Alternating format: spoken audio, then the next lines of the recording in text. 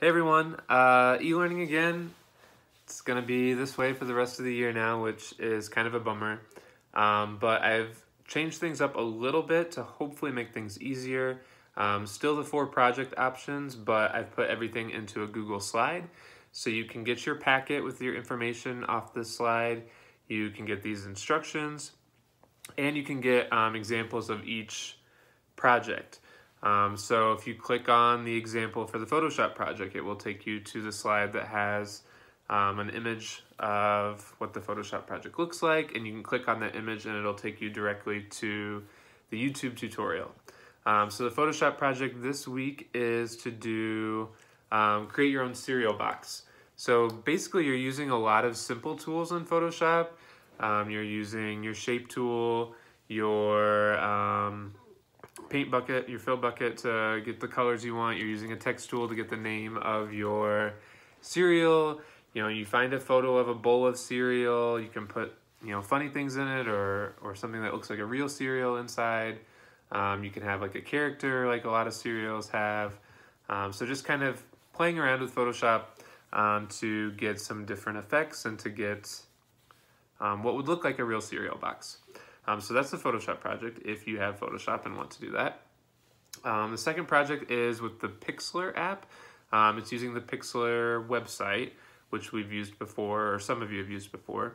Um, and it's to create an outline around a photo. So you can have a picture of a person, you can have a picture of a character, um, picture of an animal, uh, whatever you want, but it shows you how to create an outline around them. And then they show you some cool things to use some of the Pixlr stickers, Pixlr borders, Pixlr backgrounds um, to kind of finish that up. So that's another option. The analysis option, nobody's chosen that so far. So I put in the slides um, an example of what that would look like. So I've got a picture of an ad on there and then I've written my analysis underneath.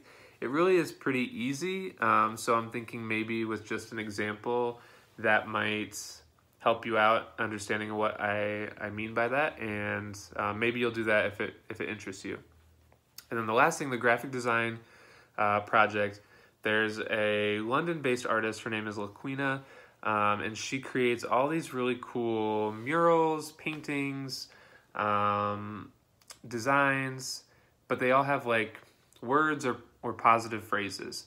Um, so if you click on the example for the graphic design, you'll see one of hers that says, the best is yet to come. So very short phrase, um, but it's not just text. There's lots of color, there's lots of pattern and shapes. Um, and I recreated that exact um, image that you see on the example.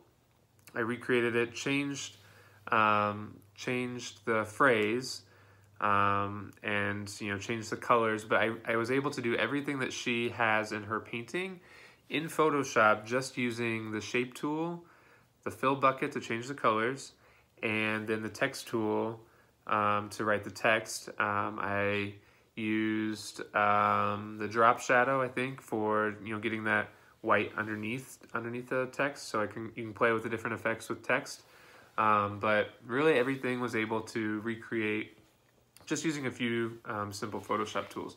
And because it's text, you can easily do that um, with like the Pixlr app or other um, phone photo apps that have you know text uh, options on them. So basically, you're creating some sort of positive phrase design, um, more than just the text, but you know pattern, shapes, colors.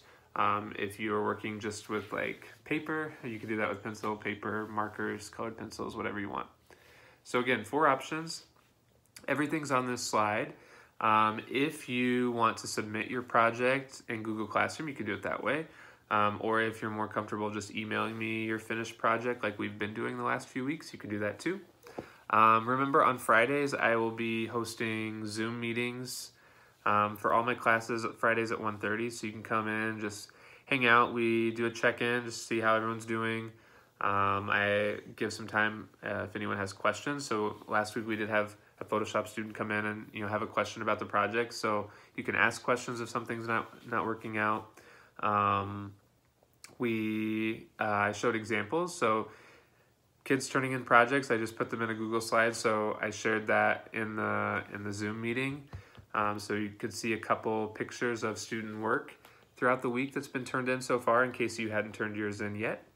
And then we played a game of Pictionary. So um, that might be something you are not interested in, but you could play. It's pretty simple.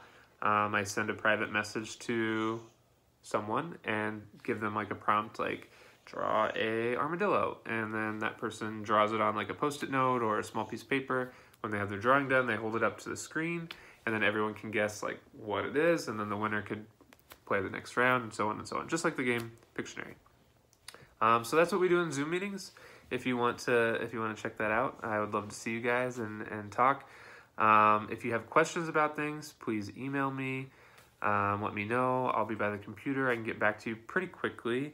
And I look forward to seeing what you create. The stuff that you've done so far has been awesome. Thank you to those of you who have been, you know, working hard to get things in on time. Um, if they don't come in on time, that's okay. Just get them to me as soon as possible so I can update your grade in the grade book. And yeah, looking forward to seeing what you what you make. And I will talk to you soon. Bye, guys.